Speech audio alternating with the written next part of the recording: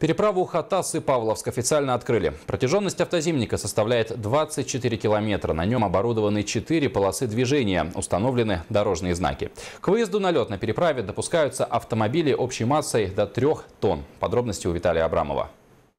Госкомиссия в составе заказчиков, подрядчиков и контролирующих органов официально приняла в эксплуатацию почти 24-километровую ледовую переправу между Хатасами и Павловском.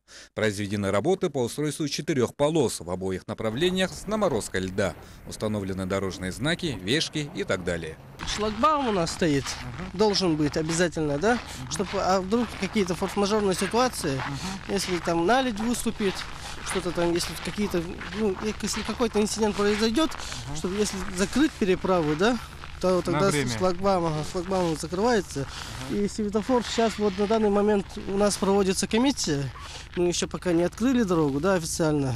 И вот светофор у нас горит. Что касается безопасности, контролирующие органы измеряют толщину льда с помощью георадара. Ну, разница второсок от 40 до 70 сантиметров. Это второсок. Что соответствует или... Ну, пока соответствует. Сейчас будем дальше замеры производить. Но вместе с тем, каждые 50-100 метров производятся контрольные замеры с помощью бура.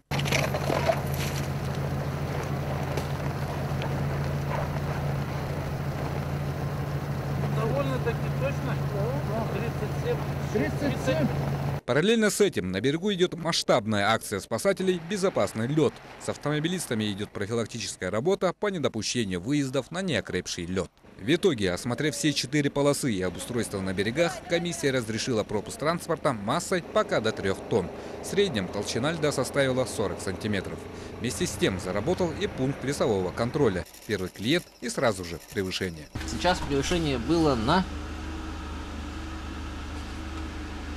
250 килограмм. 250. Ага. И все, это уже штраф. Да, это уже штраф.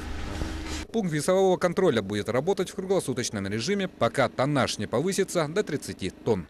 Таким образом, на сегодняшний день из 50 планируемых ледовых мостов на территории республики начали функционировать 5.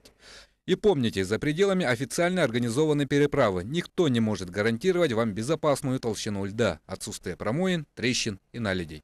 Виталий Абрамов, Владимир Павлов, НВК Саха, Хатаса.